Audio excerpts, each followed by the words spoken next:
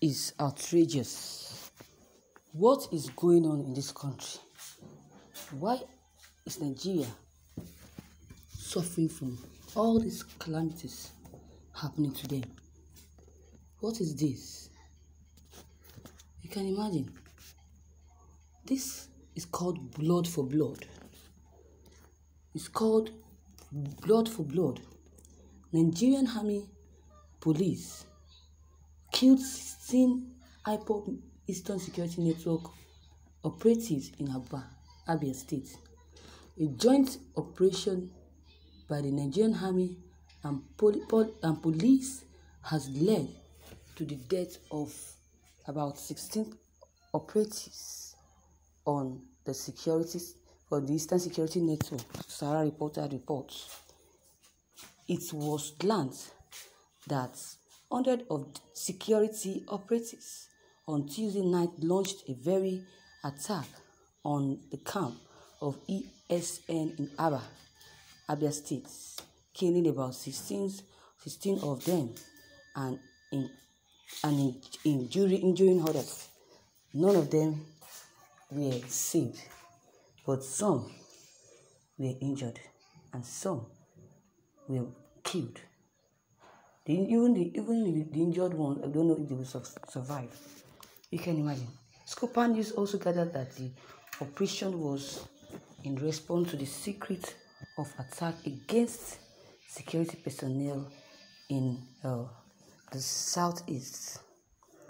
Not less than not less than 20 security operatives have been killed in the region by unknown gener- unknown go- uh, gunmen in the last three months. Police stated or stations, police stations are also not left out in the assaults, as three of them have, have been raised in 2021. So, three policemen were killed in a bush attack in the Ohafia local government of Abia State on Monday.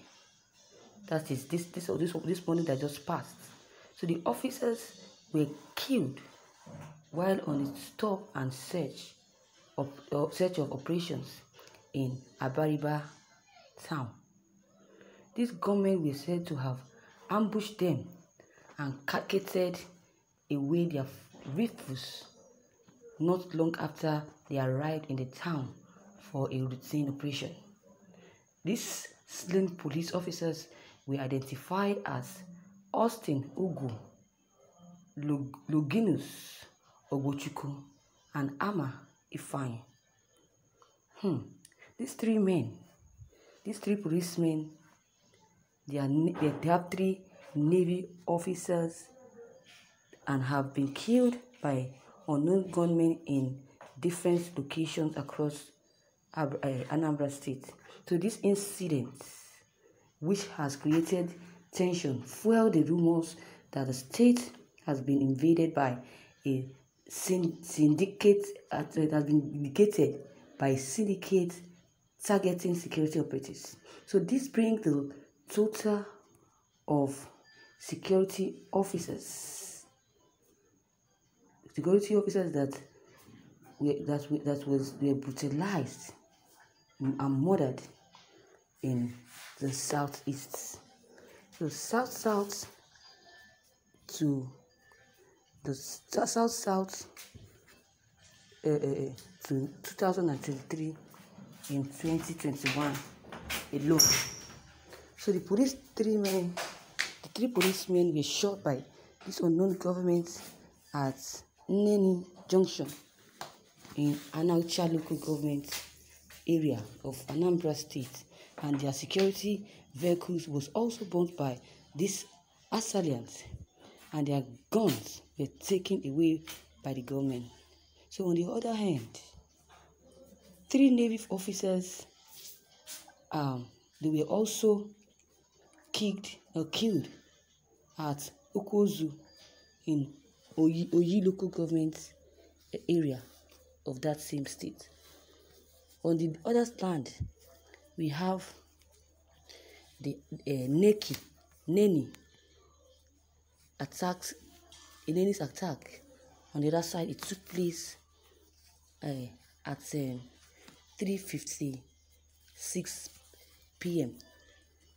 They were also killed at Okwakzu in Uyo local government area. Uyo, uh, sorry, Uyo local government area. The Ene, the Neni also attacked. They were so attacked. It took place at the same time. Imagine they killed them and they left as if that they have done nothing wrong. If nobody saw that witnessed it, they came out. They came out and witnessed and, and say came out and say all this that these people did. Nobody would have known that what, what, everything they have been saying has been uh, fake. Imagine killing innocent people for no cause. Just killing them for nothing's sake. What have they really done to deserve all this? What have they really done to deserve all these uh, problems, all these pains they are causing them? What? I've not really gotten what this ESN Ah, have done. Nnamdi Kanu, to me, to me, know that Nnamdi Kanu has not made a wrong decision, has not made a wrong decision on this. He's always doing things that will better the lives of others. Likewise, Femi Fani-Kayode. I've said before that those people are so they are unique. Their wives are so lucky, are so very lucky of them. They're so lucky to have a wife like them. That is it. So viewers, I'm not trying to um, criticize anyone or support anyone. I'm just neutral. I'm neutral. I don't want anybody to say, hey, he's only supporting this person. Okay, let us see. Let us that. I don't do the day they attack the person and before you know, he starts hearing R.I.P. God forbid will not be a portion in Jesus' name. So viewers, what would you have to say concerning this? What is your take on this? Your comment concerning this news is very is very much appreciated. If you can drop them below the comment box, click on the subscription button as well as the bell button to receive updates whenever we upload new videos. Thank you.